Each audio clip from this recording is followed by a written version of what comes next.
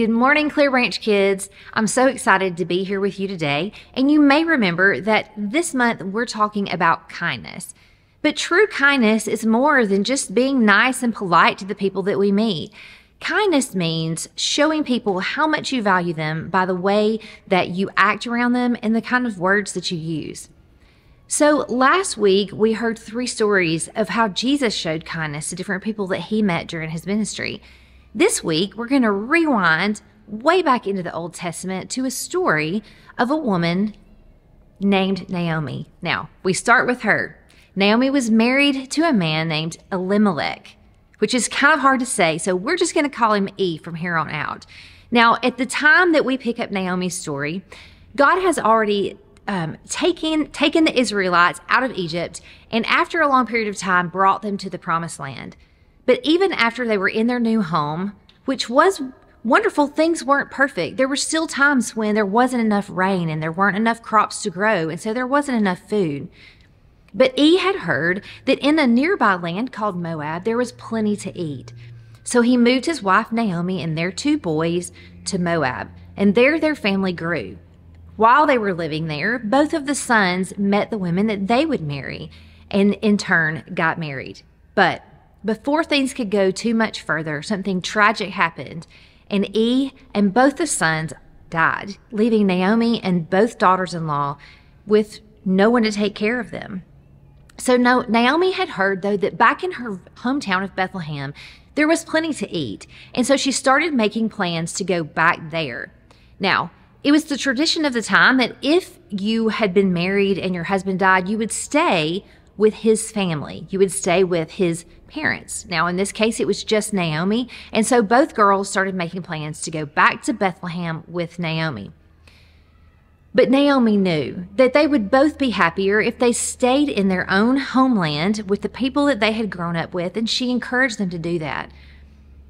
The first daughter decided that after a while that she would stay here in Moab where she'd grown up with her family.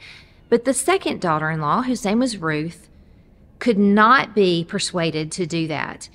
And so after a while, Naomi realized how serious Ruth was about staying with her. And so the two of them made plans and made the long journey back to Bethlehem. Once they arrived there, of course, Naomi was amongst friends and family, and she told them what had happened, the tragedies of losing all of these men in their lives. And very quickly, Ruth then set to work taking care of the two of them. And she had heard that you could go to some local fields and follow along behind the workers as they gathered up the grain, and that they would leave some, and you were welcome to come in and gather that up so that you could take it home and feed your family if you needed to. So Ruth set to work immediately doing that. And as she's out there working, she worked for hours and hours and finally decided to take a break over in the shade. And as she was resting and having some water, the man who was in charge of all the workers, his name was Boaz, he saw her sitting there, knew he didn't know who she was, and so he asked about her. And after a little bit, he came, he approached her and he already knew Naomi because E had been a member of his family.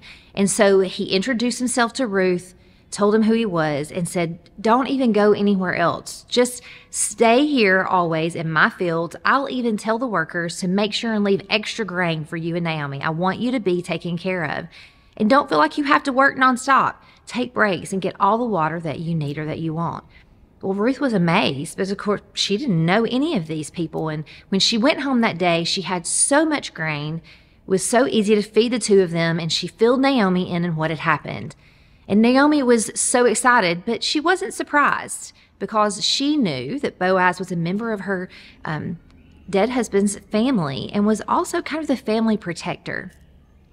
And as time went on, things got even better. Ruth and Boaz actually fell in love and got married, and they had a son together who then in turn grew up and had his own family, including a grandson whose name was David and would later become king and part of the lineage of Jesus Christ. That's pretty cool set of circumstances. And I tell you that whole story to show you how kindness matters.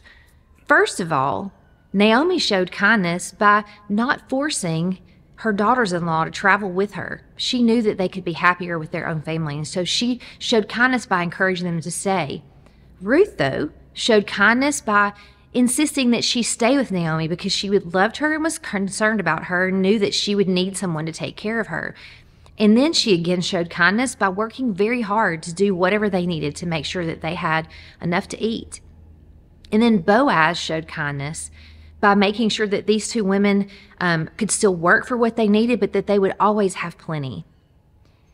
Guys, there are many ways throughout our lives that we can show kindness, and sometimes that's with strangers. Sometimes it's even easier when it's with strangers. But what this story shows us is that just like Ruth did, just like Naomi did, we need to show kindness most to the people who are closest to us, even when it can be tough. So let's follow their example this week, guys. Have a wonderful week.